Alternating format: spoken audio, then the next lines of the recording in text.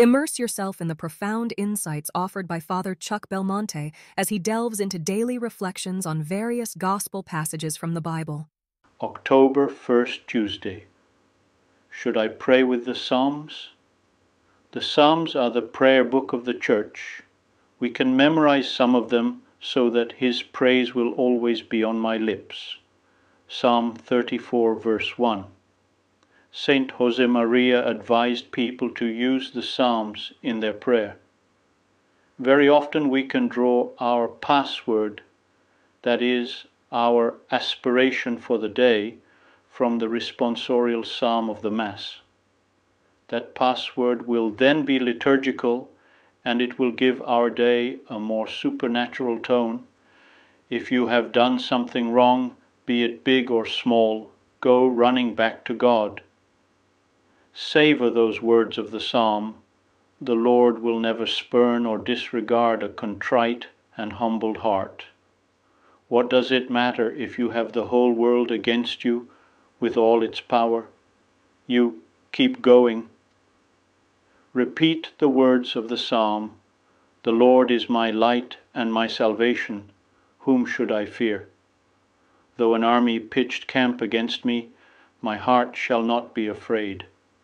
If we are waylaid, assaulted by the temptation of discouragement, opposition, struggle, tribulation, a new dark night of the soul, the psalmist places on our lips and in our minds these words I am with him in the time of trial. Jesus, compared to your cross, of what value is mine? Alongside your wounds, what are my little scratches? Compared with your love, so immense and pure and infinite, of what value is this tiny little sorrow which you have placed upon my shoulders? What follows is a small sampling of psalms worth learning for different occasions. For staying close to Christ, Psalms 1 and 19 speak movingly of devotion to God's law and the precious fruits that this brings. For loving God in times of grief, Psalm 34 is a gritty, heartfelt prayer of one who has suffered much, yet continues to praise the Lord and find peace in Him. For moments of repentance, the greatest act of contrition ever written, Psalm 51. For trusting He will never abandon us.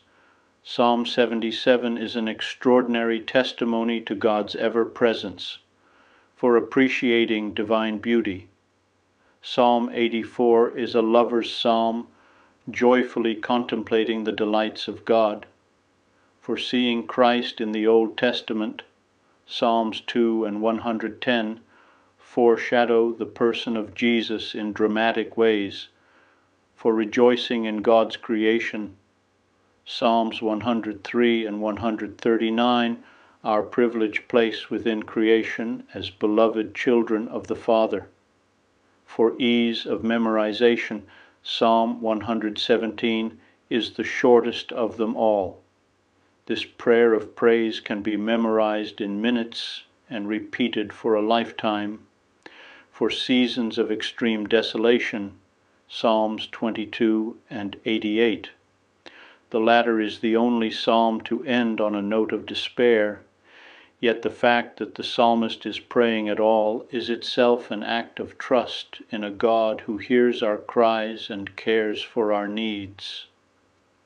For giving praise to God, Psalm 150 speaks to us of the greatness of God and the fulfillment we find in giving glory to Him. I would be delighted to extend an invitation to you once again tomorrow for another insightful reflection on the Gospel by Father Belmonte.